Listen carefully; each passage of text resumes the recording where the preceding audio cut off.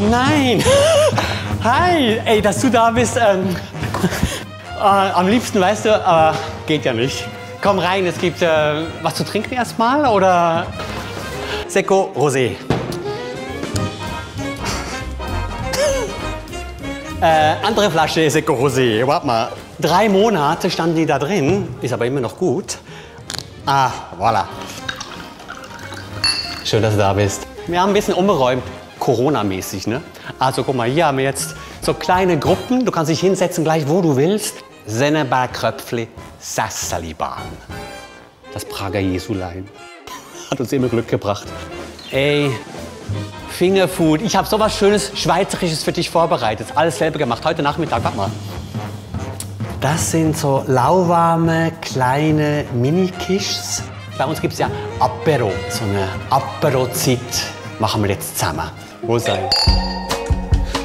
Du bist der Erste seit so ewig langer Zeit, der hier zu uns hier reinkommt.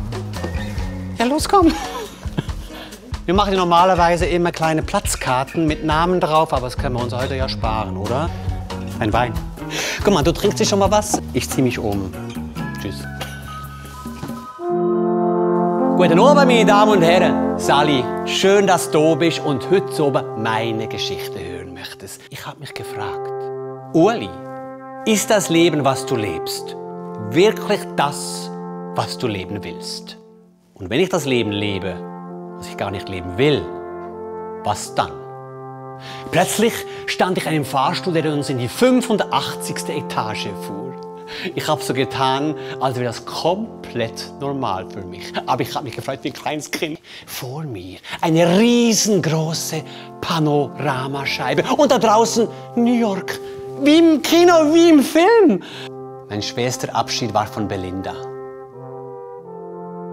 Belinda war meine erste große Liebe. Und wir saßen zusammen in einer Schulbank. An der Bergstation, da hängt ein Schild. Also im Moment nicht. Aber morgen wieder. Und dann ist es nicht zu übersehen. Also wäre es nicht zu übersehen, wenn der Nebel nicht wäre.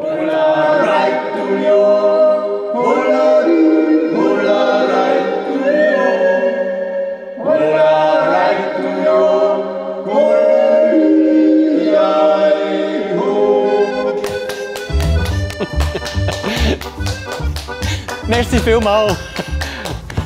So, und jetzt, jetzt kommt was ganz, ganz Schönes. Bist du bereit?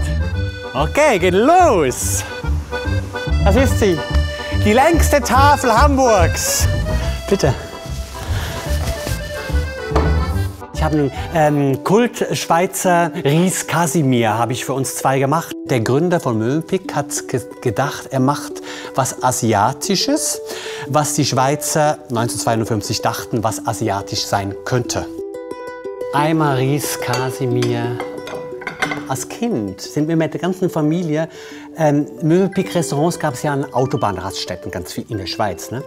Und dann ist man da sonntags hingefahren, um Ries Casimir essen zu gehen. Das ultimativ Schönste, was man sich vorstellen konnte, Ries Casimir auf der Autobahnraststätte. Hm. Schweiz pur. Jetzt, was auf gar keinen Fall darf fehlen ist äh, so zum Abrunden noch etwas Feines aus der Schweiz. Das ist das Rezept von meiner Mutter. Also, auf was Neues. Ich habe mit dir gemerkt, wie wichtig das ist, was ich tue. Meine Geschichten zu teilen, meine Art zu teilen.